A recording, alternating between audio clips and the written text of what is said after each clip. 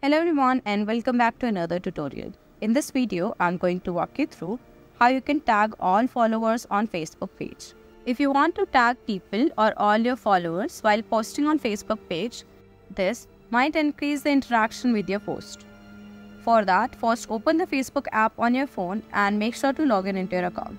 Once logged in from the home page, tap on the profile icon from the bottom right and in the profile page, tap on the switch icon to go to your business page.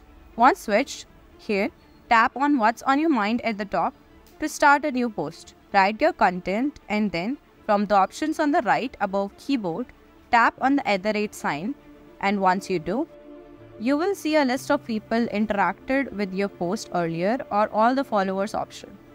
This page is new without any followers, so this box is blank, but you have to tap on followers from the option and all the followers will be tagged. Then just go with the rest of the post option and post it. And this is how you can tag all followers on Facebook page. I hope this video helped you out. If it did, then don't forget to smash that like button and also subscribe to the channel. I will see you in the next one. Till then, take care.